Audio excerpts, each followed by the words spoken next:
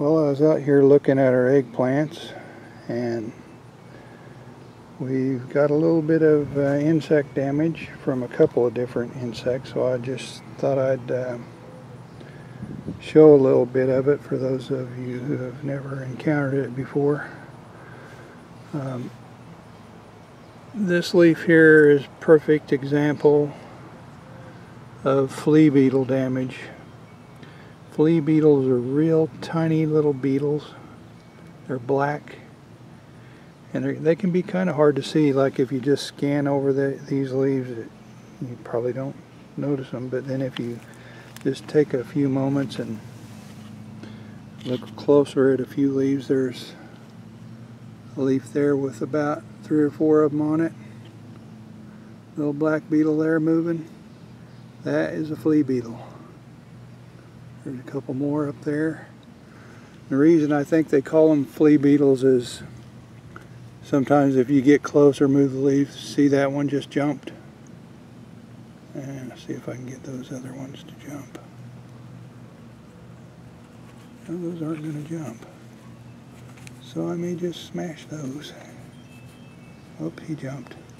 But anyway, here's another one up here on the end of, oh he jumped. Um, along with the flea beetles, I've also got some lace bugs.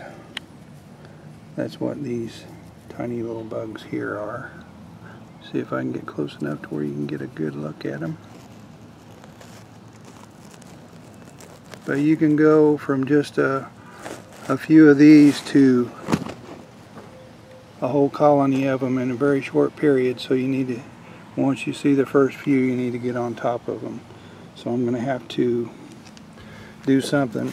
Right here on this leaf and when you start getting a lot of lace bugs you'll start to notice some dry spots if you turn the leaf over. There's a lace, lace bug on the bottom and I'm not sure but I think those are probably eggs.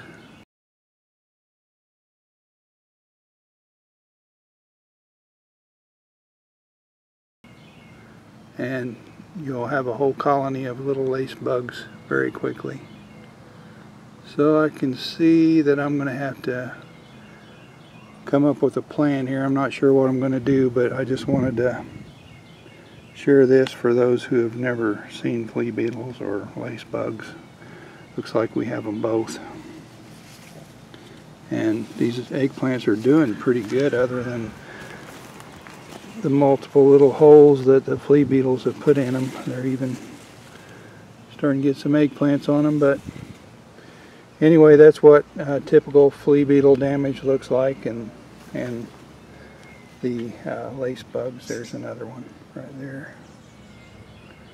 But we've got we're getting a double whammy on these uh, eggplants, so we're going to have to do something. I'll try to share that when I come up with a plan. But other than all the little holes, they're looking pretty good, really.